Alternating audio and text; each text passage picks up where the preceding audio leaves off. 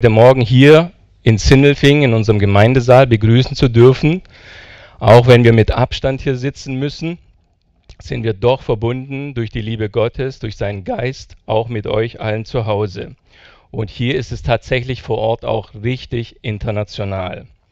Deswegen habe ich ein kleines Ratespiel für euch mitgebracht. Ich werde jetzt mit meinen besten Fremdsprachenkenntnissen euch in verschiedensten Sprachen, die hier entweder vertreten sind oder einzelne dieser Sprache mächtig sind oder so irgendeinen historischen, ethnischen Bezug haben, versuchen in dieser Sprache zu grüßen. Und ihr, die ihr alle zu Hause seid, dürft versuchen zu erraten und dann unten im Chat, diese Bewegung wollte ich schon immer mal machen, äh, das dann reinschreiben bitte in den Chat, ob ihr äh, mich versteht, in welcher Sprache ich euch jetzt gleich grüßen werde. Ferner alle wieder, die ihr zu Hause seid, fühlt euch frei, auch einen Multikulti-Gruß zu setzen. Keine Sorge, das wird nachher auch nicht öffentlich sein, das ist nur hier und jetzt. Nachher, wenn dieser ganze Stream hoffentlich vollständig auch im Internet in YouTube bleiben darf, dann wird dieser Chat als solches nicht mehr angezeigt. Und wir würden uns auch sehr freuen, wenn ihr nicht nur einen Gruß absetzt, mich persönlich würde auch sehr interessieren oder auch alle hier, falls ihr Gäste seid im Internet, woher habt ihr diesen Gottesdienst heute erfahren? Wie habt ihr das mitbekommen? Von wo kommt euer Gruß? Wie habt ihr davon erfahren? Das würde uns auch unheimlich ermutigen, wenn ihr uns das teilen würdet. Und so können wir verbunden sein über die modernen Technik, die wir heute haben und somit Überwinder des Social Distancings sein, auch wenn es deutlich besser wird und somit auch durch diese internationale bunte Vielfalt, die wir haben, auch ein Zeichen gegen Rassismus setzen. Ich fange an in alphabetischer Reihenfolge, also nicht alphabetisch in der, Sprach, äh, in der Sprache, sondern einfach wie der Wortlaut des Grußes, Guten Morgen Grußes, äh, in der entsprechenden Sprache ist. Ich fange an. Buna dimineaza. Das kann ich jeden Sonntag hier üben, und zwar reichlich. Bonjour. Dobre utra. Dann Dzień dobre. Good morning, das versteht jeder. Günaydın versteht auch der eine oder andere hier. Ich wollte gerade sagen Guten Morgen, aber Guten Morgen heißt es auf Deutsch. Joregeld. Wirklich so eine Person gibt es hier nicht, aber mit Bezug dazu zumindest. Dann Mabuhay. Hm, da kriege ich plötzlich Aufmerksamkeit hier. Rojbash. Oben. Nein, ich dachte, die Sprache gäbe es auch, dann ist ein Missverständnis. Jetzt kommt das anspruchsvollere Teil hier. Zhao Shang Hao.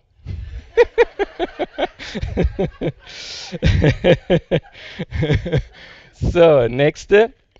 Sob Becker. Er meldet sich, es hat geklappt. Dann, last but not least, das am meisten herausfordernde. Ich habe hier eine sehr kritische Schwester hier, wenn es um die Aussprache geht. Seht es mir nach. Sabahu el Khahir. Ja, aus der tiefsten Kehle muss das kommen. In diesem Sinne möchte ich auch ganz herzlich willkommen heißen unseren Bruder Yassir Erik, der unser Werbemaskottchen gewesen ist im Internet und überall. Schön, dass du so kurzfristig Zeit hast mit äh, deiner Assistentin und Ehemann dazu und Freunden dazu. Ich freue mich sehr, sehr, sehr, dass ihr da seid, dass ihr gesund und munter und fröhlich hier sein könnt. Und so sind wir insgesamt mit circa 13 Sprachen hier vertreten. Halleluja. Genau, und last but not least, ihr musstet vorher ja alle ganz still und gespannt warten. Das ist ja alles ganz komisch, wenn man wegen Corona Abstand halten muss. Da gibt es kein Umarmen, Begrüßen und alle sitzen brav an ihren Abstandsregel einhaltenden Plätzen und sind ganz ruhig und ein Stück weit vielleicht auch aufgeregt. Jetzt habt ihr aber, liebe Geschwister, hier im Saal die Möglichkeit und zu Hause könnt ihr immer noch weilig da unten reinschreiben. Und ähm, ihr dürft jetzt in einer Sprache von euch, euren nächstbesten Nachbarn in alle Richtungen. Guten Morgen, Günaydin, Dobro Jutro und wie auch immer. Das war jetzt äh, eine Sprache, die ich dazu erfunden habe. Aber egal, ihr versteht, was ich meine. Seid so frei und ihr dürft auch ganz kurz aufstehen und euch umdrehen. Aber spuckt nicht die anderen an, ja, damit wir hier nicht uns gegenseitig infizieren. Lockert euch einfach mal. Grüßt eure Nachbarn bitte.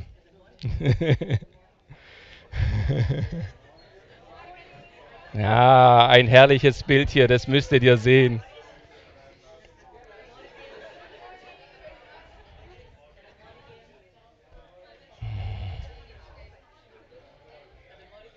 Guten Morgen.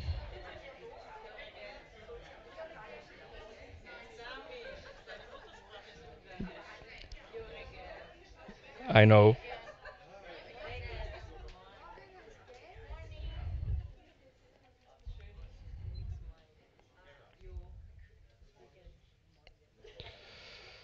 Jetzt haben sich alle beruhigt und ich lese passend dazu auch einen Leitvers dazu, das, unter das ich auch heute als Motto diesen Gottesdienst gerne stellen möchte.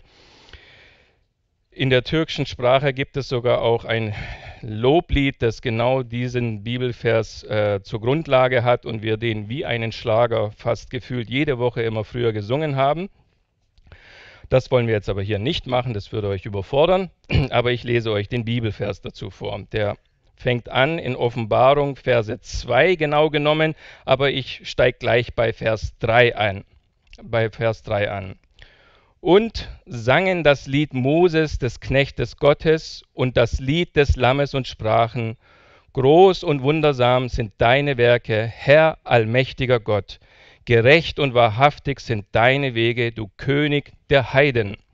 Wer sollte dich nicht fürchten, Herr, und deinen Namen preisen?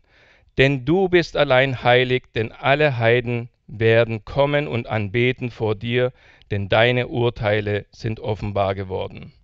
Ich denke, das können wir hier gut nachvollziehen, dass das schon Wahrheit wird und sich erfüllen wird. Um wie viel schöner wird es dann im Himmel sein. Ich möchte mit uns kurz beten und diesen Herrn die Ehre geben.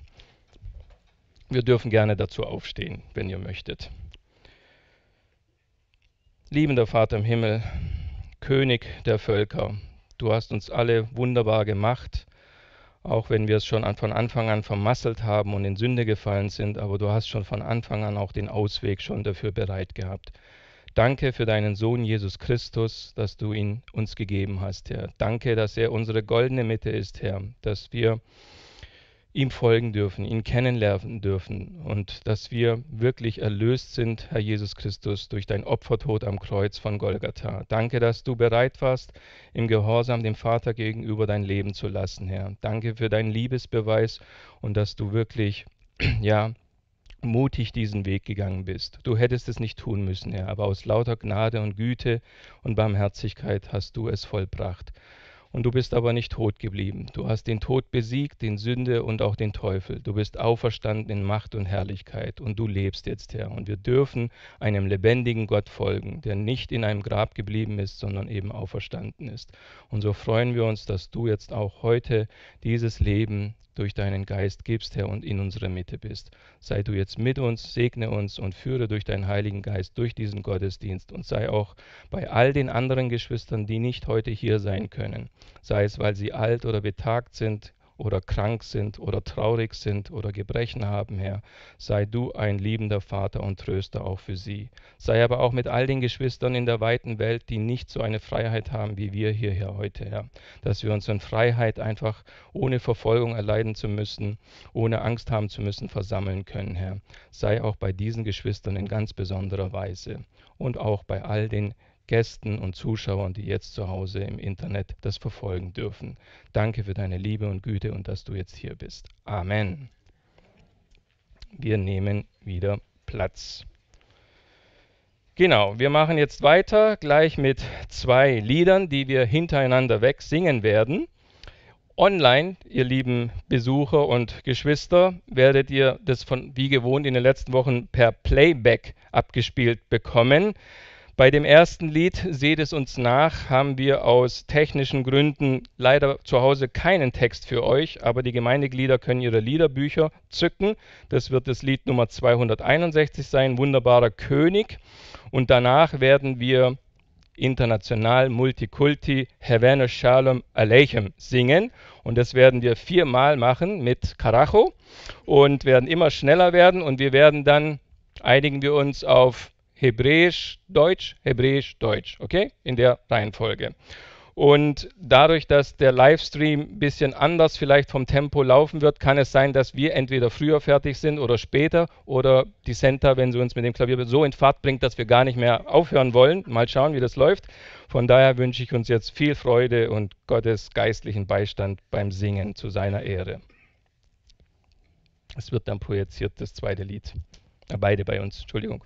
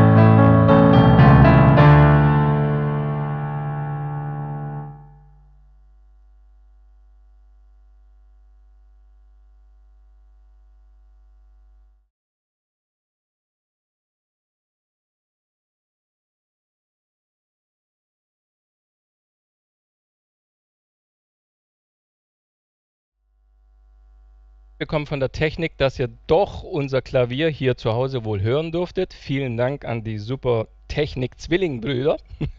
die muss ich immer wieder lobend hier erwähnen. Genau, den Applaus haben sie wirklich schon lange, lange verdient. Und ich hoffe, dass ihr zu Hause auch Freude hattet, mitzusingen. Ja, und ihr seid bestimmt auch schon gespannt, ähm, was der Bruder Yassir Erik uns demnächst äh, gleich in Bälde als Wort Gottes mitbringt. Aber damit wir ihn ein bisschen vorher mal kennenlernen dürfen als Person, werde ich ihn jetzt gleich vorne nach die Kanzel bitten und aus kameratechnischen Gründen werde ich wahrscheinlich nicht mehr sichtbar sein, ist auch nicht so wichtig. Und ich werde dich dann von der Seite schräg anreden, okay? Und dann stelle ich dir einfach ein paar Fragen. Möglichst kurz und kompakt halten und dann kommen wir umso schneller zum Wort Gottes. Genau, ich mache Platz. So, da ist unser geschätzter Bruder Yassir Erik. Herzlich willkommen nochmal, auch für all diejenigen, die vielleicht auch jetzt erst dazu gekommen sind, dazu geschaltet haben. Schön, dass ihr alle da seid, schön, dass du da bist mit deinem äh, ja, Team aus deiner Arbeit sozusagen. Als erstes würde mich interessieren, gib uns doch mal einen kurzen Steckbrief zu deiner Person und vor allem, was sind deine Leibspeisen aus der Heimat und aus der schwäbischen Küche? uh, ich fange mit der schwäbischen Küche an. ich bin seit vielen Jahren hier im Schwabenland, äh, sesshaft geworden. Meine Frau kommt aus der Schwäbischen Alb äh, und als ich zum ersten Mal äh, bei ihr im Dorf war zu Besuch, äh, ich habe einfach rumgeguckt und ich habe gedacht, meine Frau kann mir nie wieder vorwürfen, dass ich aus der Busch komme. Ja? So, sie kommt von einem kleinen Dorf in einem vergessenen Winkel dieser Erde und dort äh, esse ich sehr, sehr, sehr gerne ähm, Molletaschen und äh, äh, schwäbische Zwiebel, Rostbraten und Sauerkraut vor allem. Und ja, so ich genieße es sehr. Ja, ich bin im Sudan geboren, aufgewachsen im Nordsudan. Ähm, und ich lebe hier in Deutschland seit, seit vielen, vielen Jahren, bin ich verheiratet. Äh, habe ich drei Kinder. Unser zweites Kind kam zweimal, die sind Zwillinge, zwei Mädchen, 14 Jahre alt sind. Und ähm, wir leben als Familie äh, in Korntal. Korntal. Und was ist deine Leibspeise aus der Heimat? Oh ja, das äh, glaube ich, werdet ihr nicht äh, wissen. Dann beschreibe es uns. Ja, das ist, äh, wir haben einfach äh, etwas, das nennt sich Kisra. Das ist ein, wie ein großes Fladenbrot. Ähm, die normalerweise man, man tut man das unter dem Essen mhm. und dann isst man sie zusammen mit dem Essen und äh, um sicher zu sein, äh, dass alles ähm, hygienisch ähm, einwandfrei ist, man nutzt seine Hand. Ja? Weil wir denken, mit Messer und Gabel, du weißt nicht, wie viele diese Messer und Gabel vor dir benutzt haben. Aber meine Hand wird nur von mir benutzt. da, da ist was dran, ja. Dann gestatte mir, die zweite Frage zu stellen. Wie sprichst du Jesus Christus in deiner Muttersprache an und war das vielleicht eventuell am Anfang, also wo du zum christlichen Glauben dann konvertiert bist, ein Konflikt für dich, weil der Isa im Koran nicht unbedingt exakt derselbe wie der in der Bibel ist? Ja. Es ist in der Tat, das ist ein, war ein sehr, sehr großes Problem. Als Muslim habe ich an Isa geglaubt. Und ähm, Isa im Koran, er ist nicht gestorben, er ist nicht der Sohn Gottes äh, Isa im Koran ist nur ein Prophet, äh, der auf diese, für diese Menschen gekommen ist und hat er gute Sachen gemacht hat. Und übrigens, ich habe das auch später entdeckt, in vielen Gemeinden, diesen Isa im Koran unterscheidet sich nicht viel von dem Christus, der sozusagen nur unser Kumpel, ein guter Mensch und so weiter und so fort. Ja? Äh, und es war tatsächlich ein großes Problem, ihn als Heiland und Herr anzuerkennen. Ja? Und das ist einer von den zentralen äh, Unterschieden zwischen Christentum und Islam. Und wie die Bibel sagt, ohne den Heiligen Geist und ohne Gott, keiner von uns kann Jesus Christus als Herr nennen. Das heißt, wenn einer von euch heute hier und die uns schauen, wenn jemand eine Schwierigkeit damit hat, muss man sich innerlich prüfen. Mhm. Jesus ist nicht nur ein Oberguru, Jesus ist nicht nur ein Prophet, der gekommen ist. Jesus ist nicht nur jemand, der Wunder getan hat. Jesus ist nicht nur jemand, der wir beten für ihn und er hilft uns. Nein, er ist Gott, der auf diese Erde gekommen ist, am Kreuz für uns gestorben ist und hat uns gerettet.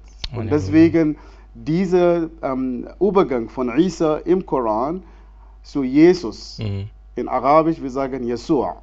Ähm, und das ist eigentlich Das, das Wort Yeshua äh, auf Arabisch, äh, das ist die spiegelte Form von das Wort Isa. Das heißt, man hat Isa, hat man Yeshua genommen auf Arabisch, Spiegelform und davon hat man Isa äh, bekommen, äh, äh, gemacht. Und das ist in aller Hinsicht. Ja, also Jesus, Isa im Koran, hat gar nicht mit Yeshua, Yeshua in der Bibel zu tun. Das ist mal eine klare Differenzierung. Vielen Dank. Ich hatte ja vorhin äh, im Eingang ganz klar hervorgehoben, dass wir heute hier sehr international vertreten sind. Deswegen würde mich auch interessieren, auch Kraft deines Lehrdienstes und was auch euer Institut macht, äh, an Arbeit leistet oder an Lehrvorträgen macht. Was wäre für dich die ideale Zusammensetzung einer Gemeinde und wie findest du es hier so kulturreich? Die ideale Setzung der Gemeinde für mich ist genauso, was in Offenbarung steht. In Offenbarung äh, 5.9 steht, und ist eigentlich die zukünftige Gemeinde, und wir sollen das schon jetzt hier üben. Von allen Sprachen, von allen Kulturen, von jeder äh, Nationen auf dieser Erde, versammelt um Jesus Christus. Halleluja. Nicht um das Christentum und nicht gemeindemäßig, sondern um Jesus Christus. Und glaub mir, wenn wir alle zu Jesus Christus kommen, dort treffen wir uns. Ja? Und deswegen, wenn ich von Integration rede, ja, man kann Deutsch reden, man kann auch Spätzle essen, man kann auch Sauerkraut verkraften und so weiter und so fort, aber das bringt uns nicht zusammen. Was uns absolut zusammenbringt, ist Jesus Christus. Amen. Und deswegen glaube ich, dass Gemeinde ist der beste Ort, wo Integration passieren kann. Nämlich wir, wir sind Geschwister. Wir sehen total anders aus, aber wir haben einen Vater. Ja, ob wir das wollen oder nicht, das ändert die Tatsache nicht. Und das wünsche ich mir, dass wir einfach von allen Nationen, von allen Kulturen, und da zeigen wir es zu dieser Welt. Nur Christus kann so etwas schaffen. Niemand. Niemand. Nicht die Regierung, nicht die Politik, nicht die Integrationskurse. Niemand kann diese Einheit schaffen. Nur Jesus Christus. Selbst bittere Feinde können da zusammenkommen plötzlich. Absolut, absolut. Nur Christus. Das habe ich in meinem Leben erfahren. Ich werde später davon auch erzählen. Okay, Ja. dann die Frage habe ich zwar nicht offiziell, aber hätte mich trotzdem du interessiert. Das, äh, du kannst es stellen. Nein, wenn du Problem. dann nachher darauf eingehst, dann freue ich mich schon drauf. Vielleicht vergiss es das. Ich sage nur, also was ich Ich von deine deinem Zeugnis Frage. kenne, den Ja. Zacharia, Ja. das würde ich mir wünschen, wenn Genau. du das vielleicht teilst Mhm. später. Letzte Frage. Wir sind in Corona-Zeiten. Natürlich darf dieser Superstar nicht ignoriert werden. Was macht Corona mit den Menschen oder gar mit dir? Oder andersrum gefragt, was hat Corona mit Gott zu tun? Was hat Corona mit Gott zu tun? Erstens, ich glaube nicht, dass Gott Corona sozusagen für uns gebracht hat. Ja, wenn das ein Virus, dieser Virus wird durch irgendein Laboren sozusagen zusammengestellt, das ist nicht die Idee von Gott. Aber Gott kann Corona gebrauchen. Und er hat Corona in meinem Leben gebraucht, indem er mich sozusagen plötzlich gebremst hat. Ich war so viel unterwegs, ich, weil ich habe viele Sachen gut gemacht und auch im Sinne Gottes, äh, das ist einfach Menschen zu dienen, mit Jesus Christus unterwegs, aber plötzlich wurde ich einfach gebremst von 100 auf 0. Mhm. Ja? Und da habe ich das Erste, was ich mich gefragt habe, Gott, was willst du zu mir sagen? Ja? Und ich bin sehr, sehr dankbar für diese Zeit. Sehr dankbar für diese Zeit, dass ich auch meine Prioritäten, auch die Sachen, die ich sozusagen bis jetzt geführt habe, könnte ich sie analysieren, mehr im Gebet zu bringen und mit Sicherheit nach Corona Business wird nicht as usual. Mhm. Ja? Das heißt, als ob Gott uns ein Reset-Button, ich weiß Ja. nicht, in, in den Geräten gibt dieser Reset, Mhm. ja? Er hat das einfach so gedruckt. Ja. Ja? Und dann plötzlich könnte ich andere Sachen besser genießen. Äh, und ga- ganz am Anfang von Corona-Zeit äh, lief ich rein in- bei uns zu Hause und ich sehe einfach ein Bild, die sehr schön ist und habe ich einen von meinen Kindern gefragt, ja, das Bild sieht schon aus. Und mein Kind hat zu mir gesagt, Papa, dieses Bild hängt hier seit fast zwei Jahren. ja, so, so blind kann man durch die Gegend gehen. Und Ja. von daher, ich bin sehr dankbar, dass diese Zeit da ist. Aber auf der anderen Seite auch die Menschen, die krank sind, die Menschen, die, die leiden müssen. Dafür müssen wir beten und ich werde auch ein paar Worte dazu in meinem Predigt sagen. Ja. ja, ich denke, vielen geht es tatsächlich so und auch für mich persönlich habe ich so einen kleinen Slogan äh, auch in der Zeit, äh, sage ich mal, ist mir wichtig geworden. Es ist wichtiger, Termine mit Gott zu haben, anstatt für Gott allein. Wir können gut gemeint durch die Welt rennen, aber eigentlich doch ein bisschen gottlos dann äh, Gefahr laufen, gottlos zu laufen. Super, und dann vielen auf der Dank. anderen Seite, Ja. Gott, und Gott gibt uns eine Chance. Eben oft sagen wir so Gott, wir vertrauen dich und was weiß. Eigentlich diese Zeit wird diese Aussage geprüft. Genau. Ja, wir haben alle unsere Pläne. Ja, und äh, hier in Deutschland, ähm, die Menschen sind bekannt, man macht Pläne und Pläne, die man führt sie durch. Ja. Und wir sagen Gott, wir vertrauen dir. Und, und diese Zeit, diese Aussagen werden geprüft.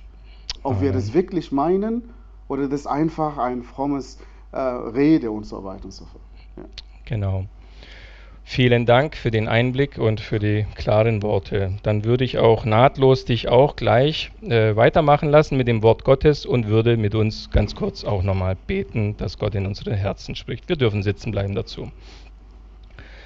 Ja, liebender Vater im Himmel, nochmals wollen wir dir Danke sagen, dass wir heute hier versammelt sein dürfen, dass wir heute auch ganz viele besondere Menschen hier haben dürfen, ja, einzigartige Menschen, die du wunderbar geschaffen hast. Und danke, dass du auch Einzelne berufst in die Nachfolge und auch dir zu dienen.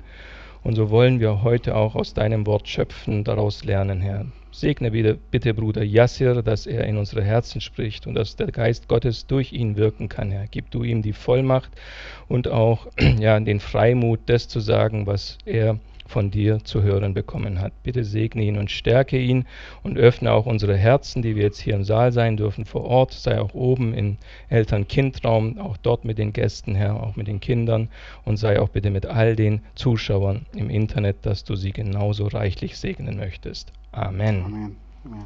Ich wünsche dir Gottes Segen. Ja. Alles gut. ja, vielen Dank. Äh, und vielen Dank auch für die Einladung. Und, äh, hier zu sein ist äh, für mich ein Vorrecht und mein Bruder Sami. Ähm, ich habe einfach diese Corona ähm, ja, ähm, immer wieder neu äh, erfahren und besonders in der Begegnung. Ich meine, vor Corona, wenn ich Sami treffen würde, wir würden sehr, sehr lange Zeit verbringen, um uns zu begrüßen. Ja? Ein Küsschen von hier und von dort, umarmen und so weiter und so fort. Und jetzt kommt man und sagt einfach nur, äh, Hallo, in diesen Zeiten oder in etwas so merke ich, wie gravierend diese Corona für uns ist. Ja, und diese ganze Social Distance, die zwischen uns Geschwistern, zwischen uns als das Leib Jesu Christi. Aber ich glaube, das größte Problem ist nicht diese Social Distance zwischen uns, sondern diese Distanz, die wir zu Gott haben, diese Welt zu Gott hat. Und ich bin heute hier, nicht weil ich irgendetwas besser weiß als ihr oder als sie, sondern weil Jesus Christus mein Leben verändert hat und hat mir eine neue Perspektive gegeben. Und diese Distanz zwischen mir und ihm wurde durch Jesus Christus überbrückt. Und deswegen wünsche ich jeder von uns heute, der hier sitzt oder der zu Hause sitzt, dass wir uns einfach sicher sein, dass wir keine Distanz zu Gott haben oder dass Gott eine Distanz zu uns hat, sondern durch Jesus Christus, dass wir zu ihm kommen können. Heute möchte ich nicht nur meine Geschichte mit euch, mit Ihnen teilen, sondern ich möchte über die Geschichte Jesus in meinem Leben reden. Ich habe vorher im Interview diesen klaren Unterschied gezeigt zwischen Jesus im Islam und Jesus in der Bibel. Jesus im Koran, den ich gekannt habe, guter Prophet, guter Mensch, hat viele gute Taten getan. Aber er ist nicht derjenige, der den Tod besiegt hat. Nicht derjenige, der uns diese Distanz zu Gott ähm, äh, überbrück, überbrückt hat, sondern nur ein guter Mensch. Und dieser Jesu Christi kann uns nicht retten, sondern nur derjenige, der von sich sagte, ich bin und er war bei Gott der Weg und die Wahrheit und das Leben, das Licht dieser Welt. der kann diese Welt verändern. Und diese Wahrheit ist nicht mit unserem kognitiven Wissen zu verstehen. Damals, als ich Muslim war, ich habe das versucht, aber ich bin gescheitert. Wir können nur durch den Heiligen Geist, wir können nur durch Gott, Jesus Christus, zu erkennen. Und deswegen lade ich euch ein, egal was wir machen, sollte Jesus im Zentrum unserer Leben sein. Unsere Gebete, unsere Gottesdienste, zu Hause, alles, was wir machen. Wenn Jesus Christus nicht das Zentrum ist, dann spielen wir Gottesdienste, dann spielen wir Frömmigkeit, dann sagen wir irgendetwas. Nur wenn Jesus in unserer Mitte ist, das macht der große Unterschied. Als ich Muslim war, habe ich auch an Jesus Christus geglaubt. Und jeder Muslim glaubt an Jesus Christus übrigens. Aber was heißt das?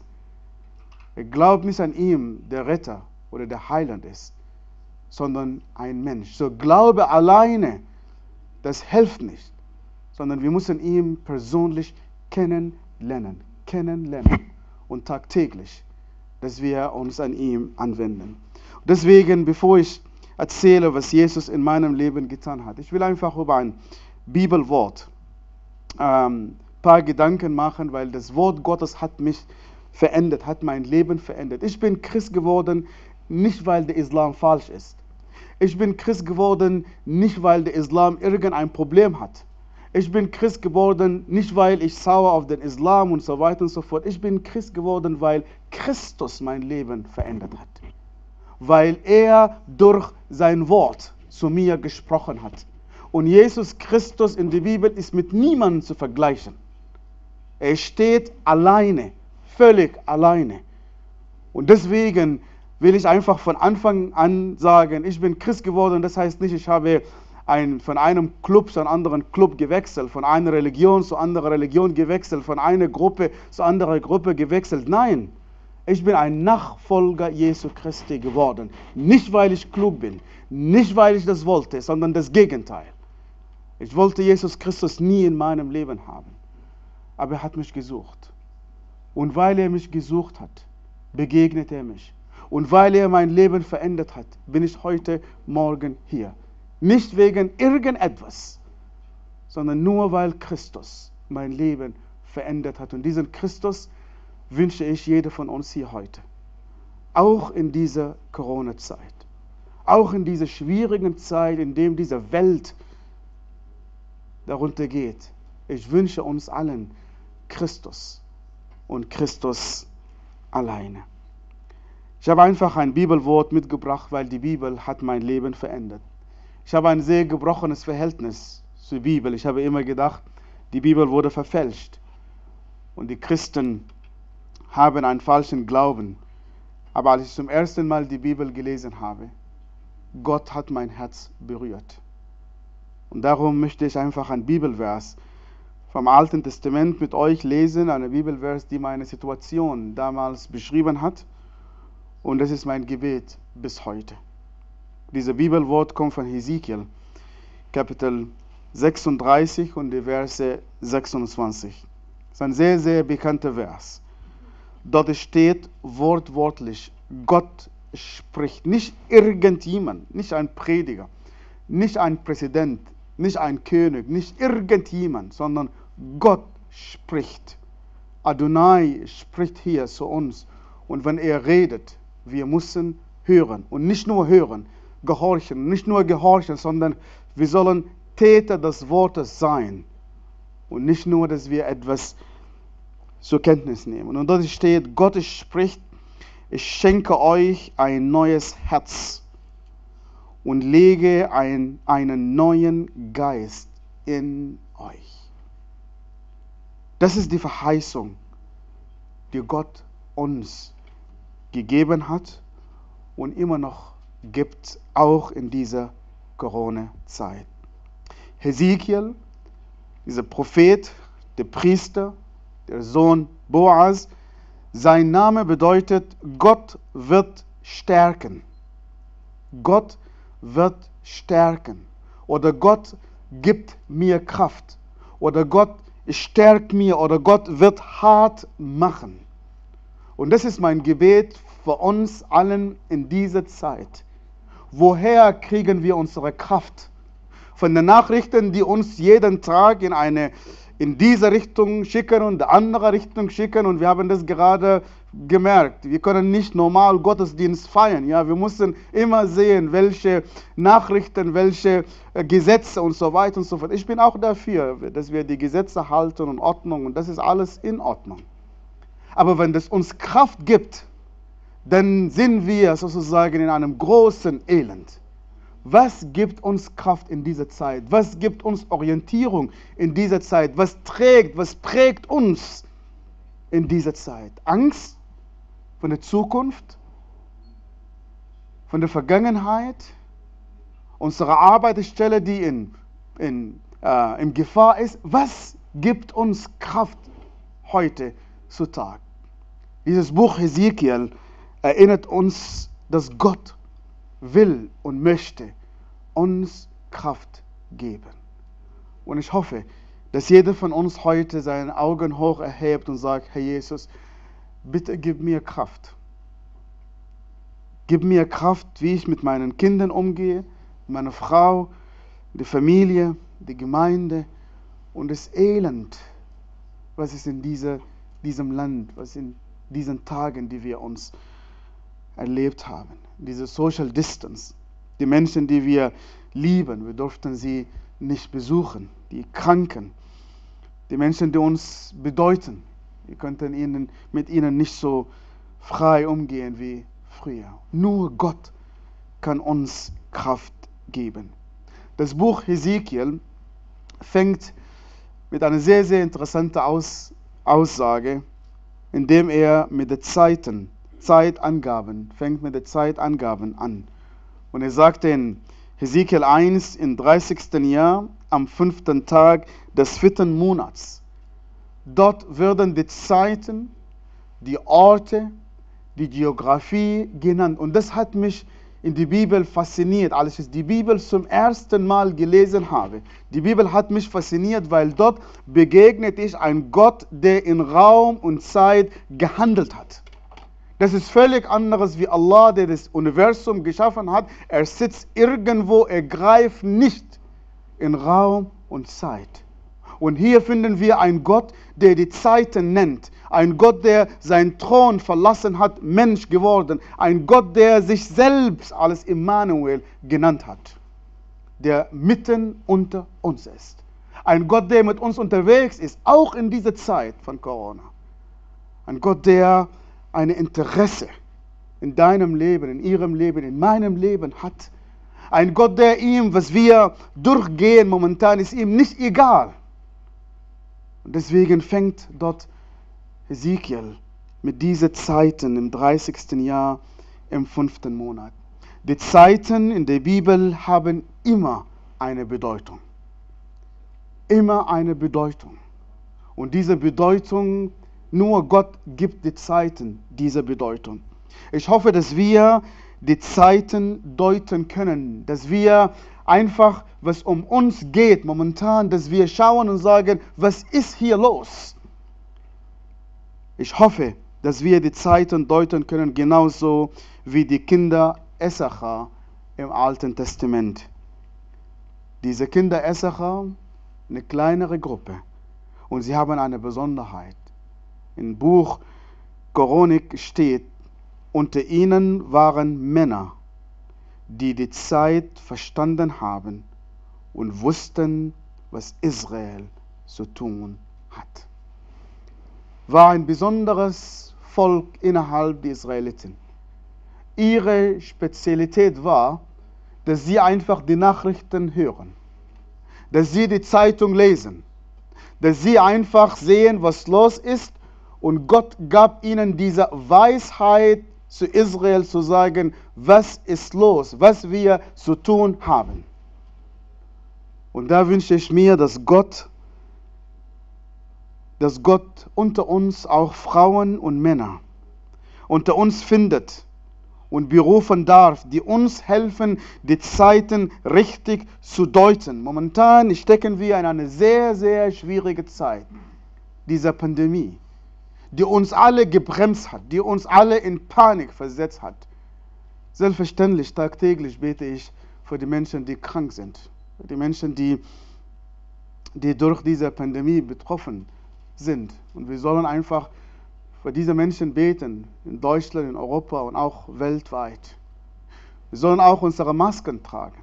Wir sollen auch diese Maßnahmen sozusagen einhalten. Aber ich glaube, wir brauchen etwas tieferer als das.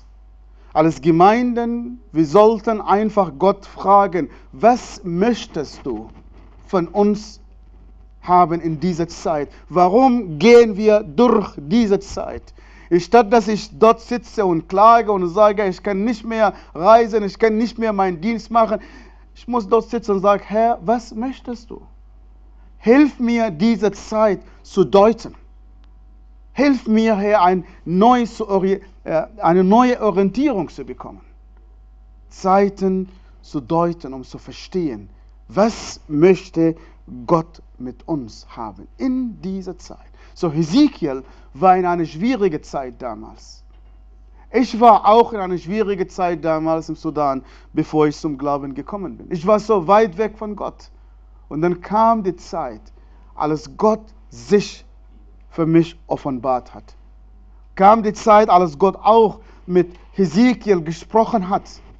Und kam auch die Zeit, als auch jemand, der fast in einer ähnlichen Situation war, nämlich Daniel, der auch in einer Schwierigkeiten war. Im Buch Daniel lesen wir dort, der mächtigste Mann, der König, der, der so, so wichtig war, die, die, die Übermacht zur damaligen Zeit, Nebuchadnezzar, der, der sozusagen alles machen könnte. Er könnte er hat sich erlaubt, nach Jerusalem zu gehen und die Israeliten zu verschleppen. Er konnte jeden Krieg gewinnen. Er war der mächtigste Mann auf dieser Erde. Wenn man ihn mit heutzutage vergleicht, er kann einfach Trump und Merkel und die Europäer und die Chinesen und so weiter und so fort, alle in einem Person, der mächtigste Mann auf dieser Erde. Er konnte alles machen. Und eines Tages wurde er Lehm gelegt, genauso wie wir. Nebuchadnezzar hat eines Tages einen Albtraum. Sie können das und ihr könnt das in Buch Daniel 2 lesen. Er hat einen Albtraum durch diesen Albtraum sein Geist so erschrak, sagt die Bibel, dass er aufwachte und er hat schlaflose Nächte. Er hat Macht, er hat Möglichkeiten, er hat alles, was man damals haben könnte und trotzdem könnte er nicht schlafen, weil ein Traum zu ihm gekommen ist. Er wusste nicht, was dieser Traum bedeutet. Und er war in Panik. In Panik suchte er Hilfe bei den Schriftgelehrten, bei den Zauberern, bei den Experten seiner Zeit. Aber diese Menschen könnten ihm nicht helfen. Sie könnten ihren, seinen Traum nicht helfen. Und sie sagen zum König, wir können dir nicht helfen. Sie haben ihre Grenzen erkannt. Und sie sagten zum König, Du verlangst etwas von uns, was nur die Götter tun können. Wir sind Experten, ja. Wir haben Weisheit, ja. Aber wir erkennen unsere Grenze. Und ich glaube, das ist, was Gott uns durch diese Corona zeigen möchte. Wir leben in einem Land, wo Gott uns mit vielen Möglichkeiten geschenkt hat. Wir leben in einem Land, wo mehr als 70 Jahre Frieden, kein Krieg. Jeder wird respektiert und jeder hat seinen Platz in diesem Land. Und dafür bin ich sehr dankbar. Wir leben in einem Land, fast alles, was man plant, gelingt die Menschen. Wir leben in einem Land, wo Gott uns mit vielen Sachen gesegnet hat. Und statt dass wir dankbar sind, wir versuchen allmählich Gott von der Mitte unserem Leben wegzutreiben. Wir wollen ihn nicht mehr haben. Im Grundgesetz steht, die Würde des Menschen ist unantastbar. Und statt dass wir sagen, dass diese Prinzipien von der Bibel kommen und dass die Würde des Menschen hat mit Gott zu tun, weil jeder Mensch in Ebenbild Gottes geschaffen worden ist. Wir nehmen einfach Kredit und sagen, ja, das ist unsere eigenen Gedanken. Demokratie ist unsere eigenen Gedanken. Nein. Gott hat seine Hand über dieses Land gehabt hat. Und wir sollen Gott nicht wegtreiben. Und deswegen müsst, bete ich in dieser Zeit, dass wir nicht nur wie Nebuchadnezzar die Experten und allen die Menschen, die um uns sind, zu fragen. Jeder Mensch wird gefragt. Der Einzige, der unsere Regierung momentan nicht fragt, ist Gott. Wer kommt und fragt Gott, was ist los mit dieser ganzen Pandemie? Was ist los mit uns hier ist? Und wenn wir denken, dass wir vor jedem Problem eine Lösung haben, dann irren wir uns. Ich weiß, diese ganze Geschichte Made in Germany und dass Sachen uns gelungen hat. Wir sollen Gott dafür dank, danken, aber es wird uns nicht alles gelingen, weil es gibt Sachen, die nur Gott in unserem Leben tun kann. Und keiner von uns kann das es schaffen. Und hier in dieser Geschichte kommt Daniel im Spiel. Daniel suchte bei Gott seine Zuflucht. Und Gott hat ihm einen Traum die Deutung gegeben. Daniel hatte längst erkannt, dass nur Gott, dass Gott hat alle Fäden in der Hand. Nicht die Magien, nicht die Experten und nicht die Menschen, die uns in Angst versetzen möchten. Gott hat alles in seiner Hand. Und dann sagte Daniel, er, meinte Gott, er ändert Zeit und Stunde. Nicht Corona hat uns gebremst, sondern Gott hat uns gebremst. Und er will, dass wir mit ihm in eine Tiefe gehen. Und Daniel sagte, er, Gott, er offenbart, was tief und verborgen ist. Er weiß, was in der Finsternis liegt und nur bei ihm ist das Licht. Nur bei ihm. Diese Corona hat viele Sachen in meinem, meinem Leben offenbart. Mein Vertrauen zu Gott. Meine ich wirklich die Worte, wenn ich sage, Gott, lenke meine Wege? Meine ich wirklich, wenn ich zu ihm sage, ich vertraue dir?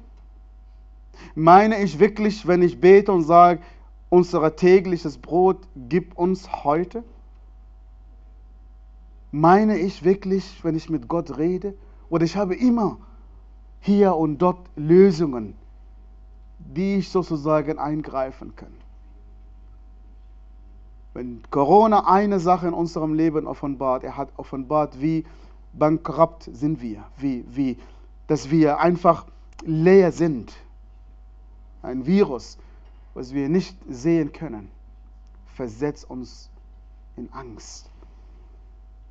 Gott, er weiß, was in der Finsternis liegt und nur bei ihm ist Licht. Und ich hoffe, dieses Licht Gottes, dieses Licht Jesus Christus, der sagte, ich bin das Licht dieser Welt, dass er uns auch in dieser Zeit, alles Familie, alles Gemeinde, alles Volk Gottes, dass Gott uns führt. Das Buch Hesekiel fängt nicht nur mit den Zeiten an, sondern er beschreibt auch die Lage, wo diese Menschen waren. Und er sagte, da ich war unter den Gefangenen an Fluss Keba. Hesekiel war Migrant, in Gefangenschaft, weit weg von seiner vertrauten Umgebung, seine Mitmenschen, seine Kultur, Jerusalem war nicht mehr, der Tempel zerstört und die Stadtmauer am Boden. Wo war Gott bei allem dem gewesen? Und was war aus seiner Verheißung geworden? fragte sich Hesekiel in diesem Tal. Keba. Dieser Fluss Keba nennt sich auf Arabisch Nahr al-Khabur, liegt genau zwischen Syrien und Irak wo die IS Tausende von Menschen umgebracht hat in diesen letzten Jahren, wo Menschen verfolgt sind. In diesem Tal des Todes war Hesekiel verschleppt, in Gefangenschaft, weg von zu Hause, weg von allem, was ihm je wichtig war. Und Gott hat mit ihm in dieser Zeit gesprochen. Als ich Muslim war, ich war auch in Gefangenschaft, obwohl ich sehr, sehr religiös war. Aber ich habe Gott nicht gekannt. Ich habe gebetet, aber ich habe Gott in meinem Leben nicht erfahren. Ich habe gefastet, aber mein Fasten hat mir nicht zu Gott gebracht. Ich habe viele gute Taten getan und trotzdem war ich in Gefangenschaft. Gefangenschaft, weil ich nicht wüsste, was mit, wenn, wenn ich sterbe, was wird, was wird mit mir passieren. Gefangenschaft, weil ich nicht wüsste, hat Allah meine Gebete erhört oder nicht. Gefangenschaft, ich könnte Menschen nicht vergeben. Ich könnte Menschen nicht lieben. Ich habe Menschen sortiert, Gläubige und Ungläubige, Menschen, die leben dürfen und Menschen, die nicht leben dürfen. Und es war eine Gefangenschaft der Religion. Und Religion kann eine Gefangenschaft sein, egal wie diese Religion heißt. Typische Merkmale des Religion, dass der Mensch wird aufgefordert, etwas vor Gott zu tun. Und der Mensch sucht Gott. Nur in der Bibel, nur im Neuen Testament finden wir einen Gott, der den Mensch gesucht hat. Ein Gott, der freiwillig sagte, ich will Mensch werden und ich will zu den Menschen gehen. Das findet man nur im christlichen Glauben und nämlich nur in Jesus Christus. Und er hat meine Gefangenschaft zu Ende gebracht, genauso wie die Israeliten damals. Und erlauben Sie mir und erlauben mir heute, dich und Sie direkt zu fragen. In welcher Gefangenschaft lebst du heute? Angst? Vergangenheit? Wir wissen nicht, was morgen kommt. Wir sind versichert und überversichert und trotzdem leben wir in Angst. In welcher Gefangenschaft leben wir? Wir jammern auf höchstem Niveau obwohl Gott uns mit vielen Sachen beschenkt. Mit vielen Sachen. Und Besonderes in dieser Zeit.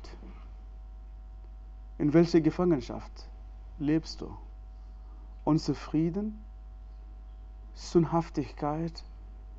Die Sachen, die wir tagtäglich anschauen und wir wissen genau, wir sollten das nicht tun? In welcher Gefangenschaft lebst du? In welcher Gefangenschaft leben wir als Kirche? Corona kommt und lähmt uns. Und was ich total vermisst habe in dieser Corona-Zeit, dass uns Christen, Nachfolger Jesu Christi, ist uns nicht gelungen, kreativ zu werden, um einen Unterschied in dieser Gesellschaft zu machen. Wir haben uns versteckt. Wir haben uns hinter den Türen sozusagen gesessen, ja. Durch Social Media und YouTube und so weiter und so fort, das ist auch eine Möglichkeit.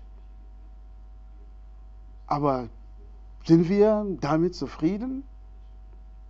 Und ich habe den Eindruck, manchmal man sagt, okay, man äh, Gemeinde nervt sowieso, jetzt ist eigentlich von Gott gekommen, ich sitze nur zu Hause und vor meinem Bildschirm und dann schaue ich Gottesdienst und chille ich einfach. Das habe ich vermisst in dieser Zeit, dass wir kreativ werden. Hier meinte ich nicht, dass wir die Gesetze missachten. Nein, absolut nicht. Wir sollen beispielhaft sein. Aber dennoch glaube ich, dass die Gemeinde Jesu Christi kann mehr. Nicht weil wir können, sondern weil der in uns ist, kann mehr als das. In dieser Gefangenschaft war ich, als ich Muslim war, in diesem Fluss Keba. Genauso wie Hesekiel, weit weg von zu Hause, von allem, was ihm, je wichtig war. Der Tempel, sichtbare Zentrum seines Glaubens, war weg. Die Familie, die ihm Halt gab, die Mauer, die Tore Jerusalem, die ihm Sicherheit und Heilsgewissheit verschafft hatten. Und diese Corona-Zeit hat viele Sachen von uns weggenommen. unsere Sicherheit von uns weggenommen. Und wir stehen dort und wir können einfach nichts. Und glaub mir, das ist die Zeit, wo wir Gott rufen sollen. Wenn du und ich zu Ende kommen mit unserem Latein, dort kann Gott am besten anfangen, etwas zu tun. In deinem Leben, in meinem Leben.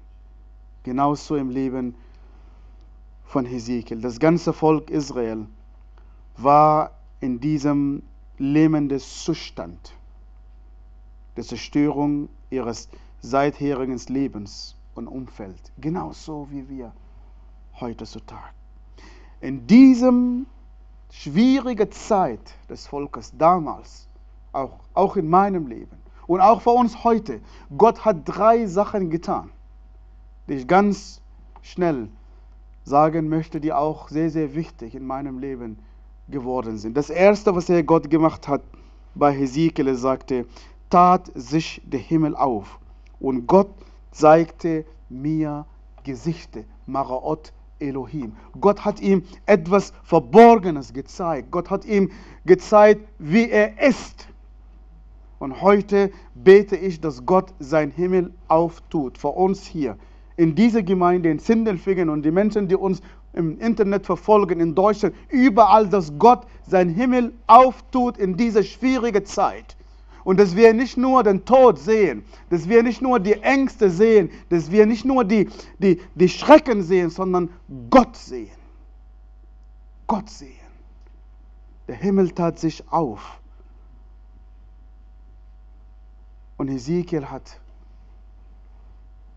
Gottes Gesicht gesehen. Im Neuen Testament hat sich der Himmel dreimal aufgetan. Wisst ihr, wo war das erste Mal, dass der Himmel sich auftan im Neuen Testament? Wie bitte? Bei der Taufe. Jesus Christus wird im Jordanland getauft und dann der Himmel tat sich auf und dann kam Gott der Vater und er sagte, er ist mein geliebter Sohn. Eigentlich von allem, was er über Jesus sagen könnte. Er, könnte, er hätte sagen können, der Messias ist da, der König ist da, der gekreuzigte. Er hätte viele Sachen über Jesus Christus sagen, aber er hat ein, ausgerechnet eine Aussage gesagt, er ist mein geliebter Sohn. Und das ist genau, was der Islam ablehnt. Jesus Christus ist nicht der Sohn Gottes. Jesus Christus ist nicht Gott. Und genau diese Aussage hat Gott der Vater vom Himmel gesagt. Er ist mein geliebter Sohn. Ja. Das zweite Mal tat sich der Himmel auf, wann? Ja, bei der Verklärung. Bei der Verklärung Jesu Christi, Mose, Elia waren da, die die, die Jünger Jesu waren da und Petrus sagte zu Jesus, es ist sehr gut hier zu sein. Einfach, wir sind alle Kumpel und hier, wir sind alle gläubig im Tal. Das ist schrecklich, dort gibt Corona. Lass uns einfach hier bleiben. Wir wollen nicht dorthin gehen. Und dann tat sich der Himmel auf, weil Petrus für einen Moment war so begeistert, dass Moses da war, weil Petrus war ein Jude und hat Moses gesehen. Und für die Juden gibt es nicht Größeres als Moses. Und plötzlich, Jesus ist nur einer von drei geworden. Moses, Elia, äh, äh, Jesus, Mohammed, was Buddha, was weiß ich. Und sie dachten so und dann Gott hat seinen Himmel aufgetan und sagte zu Petrus, wenn du denkst, dass Jesus Christus nur einer von drei, von diesen drei Herrschaften, du liegst völlig falsch. Er ist mein geliebter Sohn. Jesus steht alleine, mit niemand zu vergleichen. Und dort steht wortwörtlich, als die Jünger Jesu die Stimme Gottes gehört haben, sie haben Angst gehabt. Sie gingen flach auf den Boden. Und dann kam Jesus Christus und sagte zu ihnen, fürchtet euch nicht. Und dort steht wortwörtlich, und als die Jünger Jesu Christi ihre Augen hoch erhoben haben, sie haben niemand gesehen, nur Jesus. Nicht Moses, nicht Elias, nicht Corona, nicht die Probleme. Jesus. Jesus. Und das ist mein Gebet für mich tagtäglich, wenn ich morgen aufstehe, aufwache, ich möchte nur Jesus sehen. Das heißt nicht, die Probleme zu verdrängen, nein. Das heißt nicht, dass man einfach in einer Illusion lebt, nein. Sondern Jesus sehen. Jesus sehen. Jesus sehen. Und es soll mein Tag nicht, ich soll mein, mein Tag nicht so starten mit meinen WhatsApp-Nachrichten, die die sozusagen den ganzen Tag verderben werden, sondern mit Jesus. Jesus. Jesus steht alleine mit niemandem. Das dritte Mal, dass der Himmel sich auftat, im Apostelgeschichte, Stephanus. Stephanus wird, wird gesteinigt, verfolgt und er blickte den Himmel und er hat genauso gehandelt wie Jesus. Sagte, Herr, vergib ihnen diese Sünden. Und während er gesteinigt worden ist, sah er den Himmel, der Himmel tat sich auf. Und was hat er gesehen? Jesus. In welchem Zustand? Stehen, nicht sitzen. Das ist der einzige Ort, wo steht, dass Jesus Christus ist stehen. Stehen zum rechten Seite des Vaters. Er sitzt immer. Und wisst ihr, warum steht er? Ich glaube zutiefst. Er ist stehen geblieben und ist er im Stehen, weil er Stephanus nach Hause willkommen heißen wollte. Jedes Mal, wenn wir verfolgt sind, jedes Mal, wenn wir in Bedrängnis sind, das gilt für unsere Geschwister in Iran, in Saudi-Arabien, in Syrien, in Afghanistan, in Pakistan, jedes Mal wenn ein Christ verfolgt ist, in China auch. Der Himmel tut sich jedes Mal auf. Und Jesus bleibt nicht sitzen. Er steht auf. Und ich hoffe, dass Gott heute sein Himmel für dich, für mich tut. In dieser Zeit. Die zweite Sache, was passiert dort in Hesekiel 1, 2, sagte, und da geschah das Wort des Herrn zu Hesekiel im Land der Chaldäer, am Fluss Keba. Er hat das Gesicht Gottes gesehen und hier hört er das Wort Gottes. Was gibt uns heute Orientierung? Die Nachrichten? Was gibt uns heute Orientierung? Fake News oder das Wort Gottes? Ich habe das vermerkt in diesen letzten Tagen. Jeden Tag, wenn ich meinen Tag anfange, die Nachrichten zu hören, komme ich in Panik. Aber jeden Tag, wenn ich die Bibel, das Wort Gottes höre und dann danach die Nachrichten höre, dann habe ich etwas, wo ich diese Nachrichten filtern kann. Morgens kriege ich eine Verheißung von Gott. Und diese Verheißung trägt und prägt mich den ganzen Tag, egal welche Nachrichten kommt. Was prägt uns heute? Was gibt uns heute Kraft? Was gibt uns heute Orientierung? Bei Hesekiel war das Wort Gottes. Und drittens, was passiert, sagte, derselbe kam die Hand des Herrn, das ist alles in Hesekiel 1, kam das Hand des Herrn über ihn. Gott hat ihn berührt. Die Hoffnung, Gott hat uns nicht vergessen. Gott hat mich in mein Elend im Sudan nicht vergessen. Und Gott vergisst auch seine Gemeinde im Nahen Osten auch nicht. Dort steht, es kommt die Zeit, wo Gott so sprach, ich will euch sammeln und wieder in euren Land bringen. Ich will euch mit Wasser bespringen und euch von euren Schuld rein waschen. Das ist genau, was Jesus Christus in meinem, meinem Leben gemacht hat. Ich will euch ein neues Herz geben und einen neuen Geist geben. Auch in diese schwierige Zeit. Nicht ein Herz aus Stein, sondern lebendiges Herz aus Fleisch und Blut. Ein neues Herz, nicht mehr aus Stein, sondern aus Fleisch. Das Herz nicht nur der Sitz der Gefühle und Liebe, vielmehr sondern einfach das Zentrum des Vernunftes, das Zentrum, wo wir Kraft geben können. Und heutzutage sehe ich auch hier in unserer Mitte, auch in dieser Gesellschaft, dass ein Mängel an Herz und ein Herz aus Stein, biblisch gesprochen, das bringt nicht nur Gefühle, die kalt sind, sondern bringt auch Gedankenlosigkeit und Dummheit in unsere Mitte, wo wir anfangen, Familie redefinieren.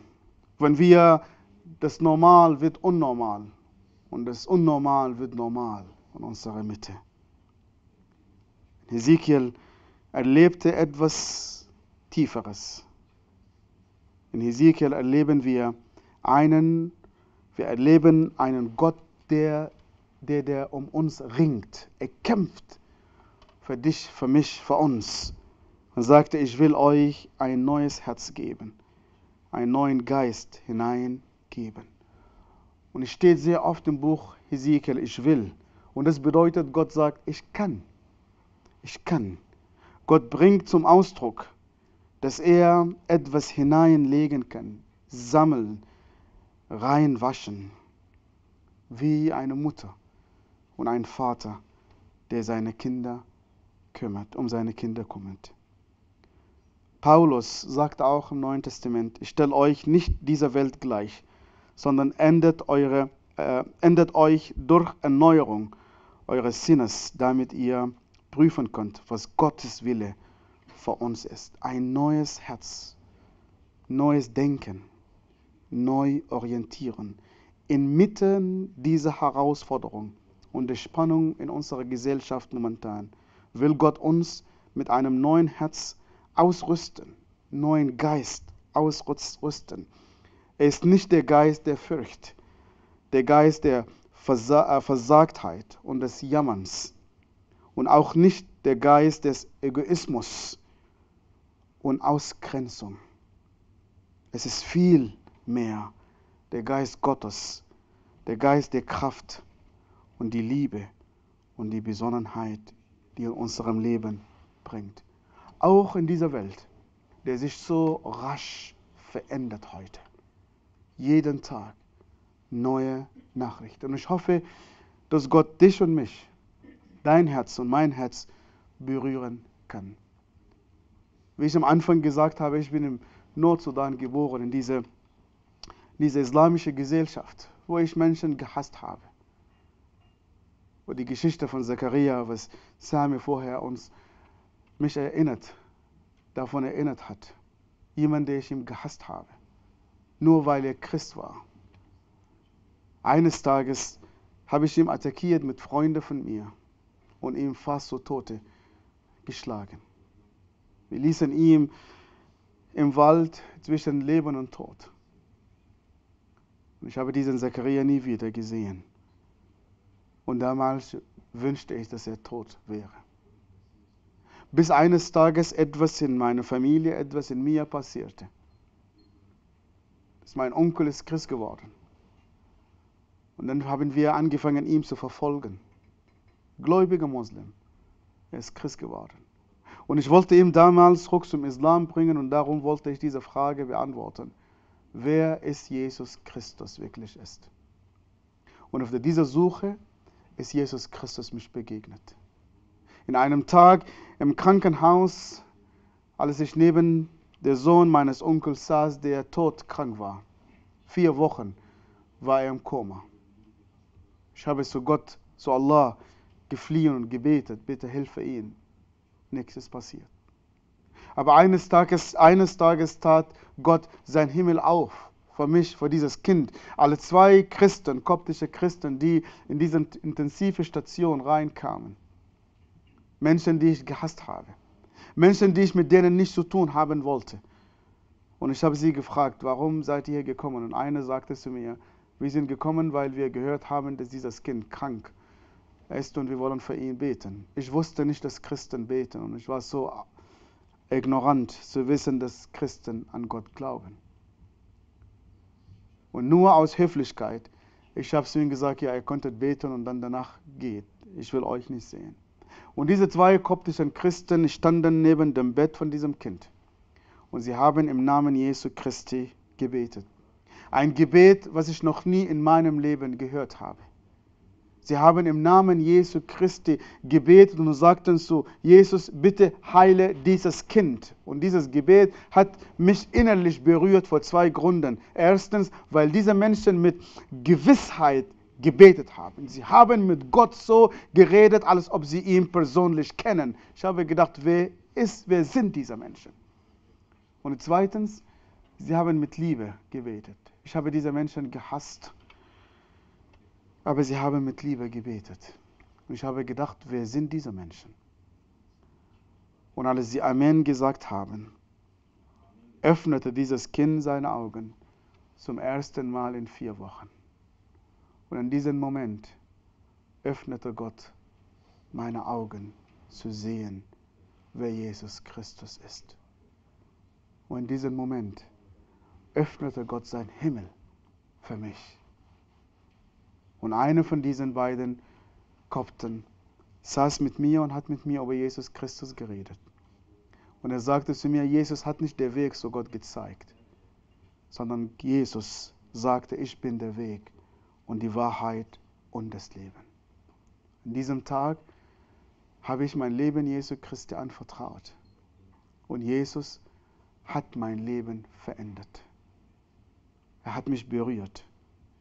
Er hat sein Wort in mir hineingebracht und sein Wort hat mein Leben verändert.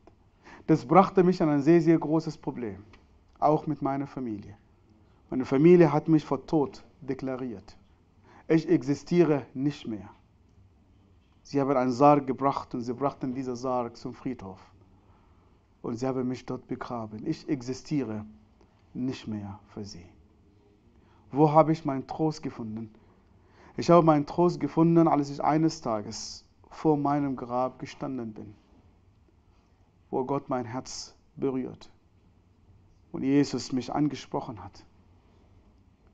Und ich habe diese Stimme gehört, die von Jesus kam, die später ein paar Leute auch bestätigt haben. Und diese Stimme sagte zu mir, du bist traurig, weil du denkst, dass deine Familie dich begraben hat. Du weißt genau, das Grab, von dem du stehst, ist leer. Und weißt du was? Mein Grab ist auch leer. Und weil das Grab Jesu Christi leer ist, es gab mir damals Hoffnung und es gibt mir heute Halt. Und er trägt mich mit Sicherheit auch morgen. Nicht meine eigene Kraft, sondern Jesus. Jesus. Der Tod für mich ist nur ein Weg, wie ich zu Gott kommen kann. Ich bin nicht lebensmüde. Aber ich weiß, wenn mein Leben auf dieser Erde zu Ende kommt, dann gehe ich zu Jesus Christus. Und wenn ich heute sterbe, ich sterbe nicht, weil Corona da ist. Ich würde sterben, weil meine Tage sind vorbei. Ja, und dann gehe ich zu Jesus Christus, der den Tod besiegt hat. Manchmal haben wir Angst und wir sind in Panik von dieser Pandemie weil wir Angst vom Tod haben. Und warum haben wir Angst vom Tod? Weil wir keine Hoffnung haben. Aber jeder, der Heilsgewissheit hat in Jesus Christus, der den Tod besiegt hat, werden wir keine Angst vom Tod haben. Und der Beweis dafür, Jesus Christus ist vom Tod auferweckt ist, worden ist. Und er lebt.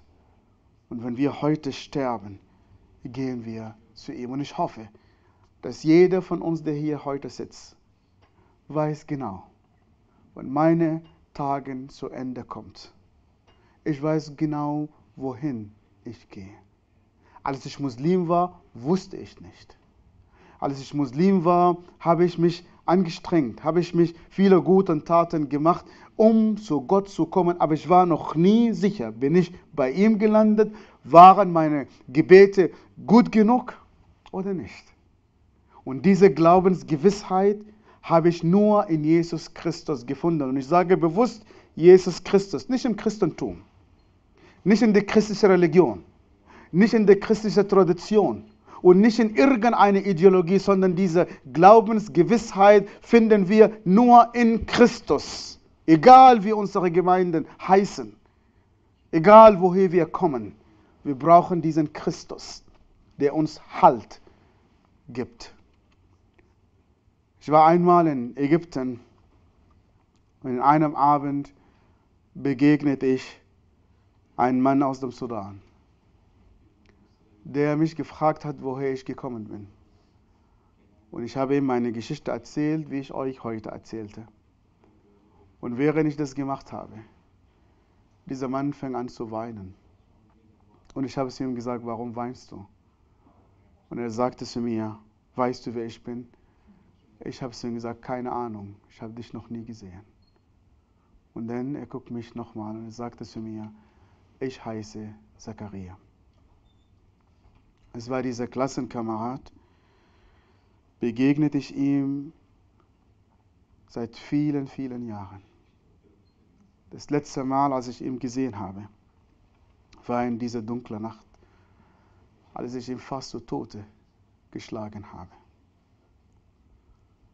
Und als er seinen Namen gesagt hat, ich könnte plötzlich die Verletzungen sehen, die ich ihm angestiftet habe.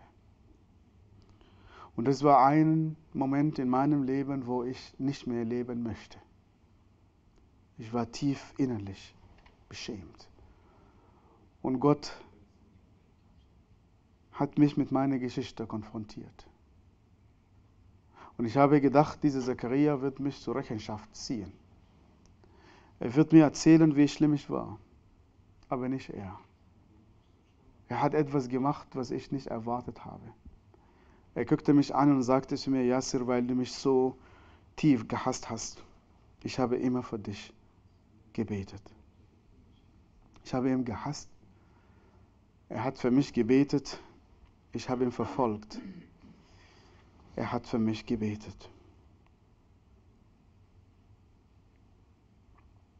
Und ich bin heute Morgen hier,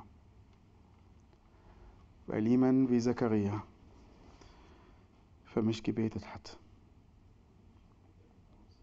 Hass mit Hass zu begegnen, es ist nicht schwierig. Aber Hass mit Liebe zu begegnen, dafür brauchen wir jemanden, der Jesus Christus heißt. Wie gehen wir mit Menschen, die uns nicht mögen? Wie gehen wir mit Situationen? Mit Menschen, die uns vielleicht wehgetan haben. Menschen, die wir ihre Gesichter nicht sehen wollen.